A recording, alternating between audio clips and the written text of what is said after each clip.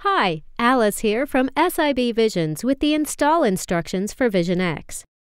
On the download page, click the button for your system to start downloading the install file.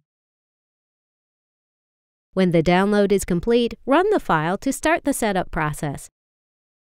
You may have to allow changes on your computer for the setup to start. This will take you to the Setup wizard. Click Next Accept the terms of the license agreement. Click Next. Select an option here. You can change the destination folder here if you would like. For most people, the default folder should be fine. Select an option here if you like. Click Install.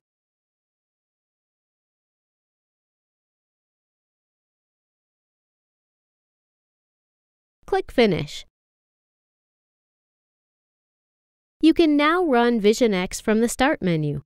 At the time you launch, you'll be asked to add the license file that we sent you in an email. If you did not get this email, please check your spam folder. If it's not there either, please contact us at support at sibvisions.com. Click Next, add the license file from the email, Next again, and finish. You're now ready to start building applications.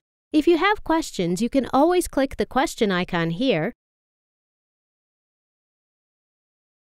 get more documentation, or videos. You can also go back to the download page using the link in the email, ask a question here, or book a support session.